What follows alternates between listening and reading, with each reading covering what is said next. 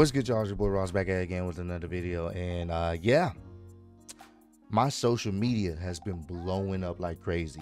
Last night we didn't check out Monday Night Raw. We wanted to, you know, take a break for Memorial uh Day weekend since it is a holiday. We try to, you know, take some breaks on actual holidays, you know, spend time with our family and just kind of decompress and try to relax as much as we possibly can. So we didn't stream Monday Night Raw, but boy oh boy, it seemed like we missed some some interesting stuff. And my DMs, my mentions on all my social media platforms were going crazy.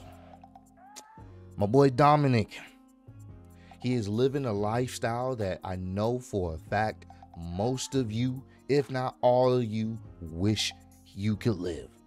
Not only was he able to get up on Rhea Ripley, as y'all call her mommy, but now he was given some tender love and care by the way of a kiss from Liv Morgan, Rhea Ripley's ops. And technically, my boy is married. Dom's the real winner out of all of this. We can for sure say that. So we got to talk about how all this played out. This was, oh man, this is just things are cooking up with this Liv Morgan situation. So during the show, Liv is giving an interview talking about what happened at um, King and Queen of the Ring and how she really didn't know why Dominik was out there she took advantage of the situation. She didn't know why Dominik was out there. So that's why she agreed um, to have a steel cage match for the Women's World Championship.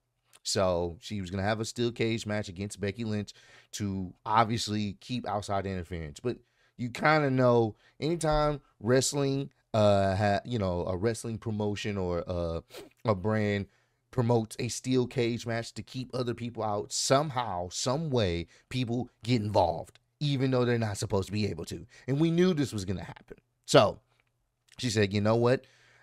Technically i didn't beat her one-on-one. So tonight i'm going to get the job done beat her one-on-one with no help right?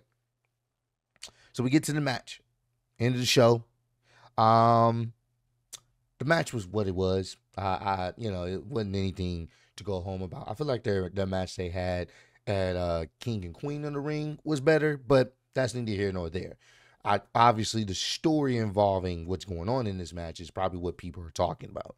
So, getting close towards the end of the match, both ladies are knocked down. Um, Becky Lynch ends up getting up, and that's when you see Dominik run out there. You already know it's about to be some shenanigans. He runs out there, he unloosens the gate for someone to exit, and he's visibly saying, Becky, come on, get out, right? Becky's looking confused and perplexed, like, what are you doing here? Then you have Finn Balor and um, JD McDonagh come out there like, yo, what are you doing? Then you have Braun Strowman chasing them. So he's running around the ring as they're running. And in the process, Braun Strowman knocks over knocks over Dominik, who was by the door, and Dominik accidentally hits the door on the Becky Lynch, and Becky Lynch ends up falling back into the ring as Braun Strowman runs and chasing after JD and Finn Balor. Once that happened, obviously Liv Morgan took advantage of the situation and she crawls out and she wins the match. Dominik's looking confused, like, damn it, I fucked up again. And you once again, they visibly made it so you could hear Dominik say, Come on, Becky, get out. But before the show, well, as the show was about to end, they're showing the trademark credits and stuff like that. You see Dominik on the rampway. He he has this look of, damn it, I fucked up again. And then you see Liv, and she's looking at him. And fellas, you know this look. When a woman's giving you this look, be prepared. Cause she's about to lock lick, uh, she's about to uh lock um, lips with you or lip lock with you, however you want to say it. The kiss is coming. So be prepared mentally. Most of us were not prepared mentally when it happens, and that's exactly what happened. Here, she creeped in close to Dominik, and then she put a a, a big old kiss right on Dominik, and he, was just sitting, he just took it as most men would just do. Just, oh no, I'm being kissed by a very attractive woman that I'm not supposed to like, but what's happening?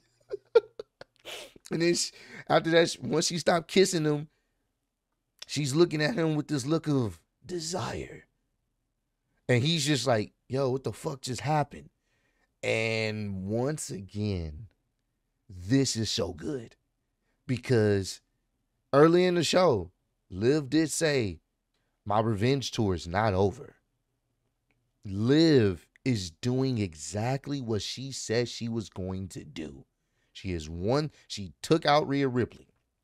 She has won the championship, the Women's World Championship.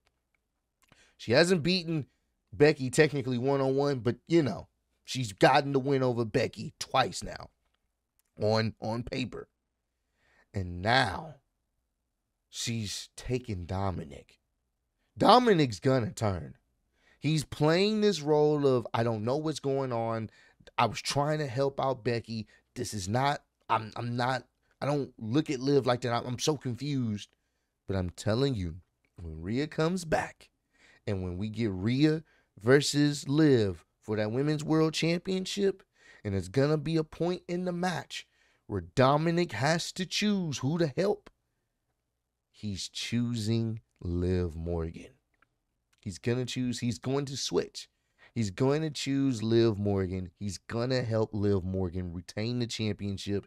And it's going to give this man even more nuclear heat. It's going to make Rhea look even more like a babyface whenever she does come back.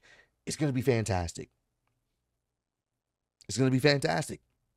This was great. This was this is this is how you create anticipation for this Liv and Rhea match. I have I don't even think I can ever remember a time I've been that anticipated to see Liv and Rhea really interact. They have done everything right by Liv. Once again, her promos are to be desired, but their character work has been the best, in my personal opinion, since I've seen her on the main roster. This works because Liv, she's coming off like she's this baby face, but she's really not. Deep down, she's not. She may be justified in what she does, but now it's it's to really destroy Rhea. And I love this. This is gonna be great. Can't wait for Rhea to come back whenever she's medically cleared. This is gonna be fantastic. This is gonna be fan fantastic. This is how you build up a potential match, hopefully, maybe at SummerSlam. So, man, comment down below. Let me know. Are you guys jealous of Dominik right now? Just be honest. Does this give you even more reasons to hate this guy? To boo him because now he's had a chance to be close to Rhea, be up on Rhea, and now Liv is tonguing him down, and he's legit married. Like, Dom is living the American dream. But I appreciate all the love and support. Road to 150K, and I'm still on Speedy YouTube Wrestling Champion of the World. Appreciate y'all kicking with me. See y'all next one. Peace.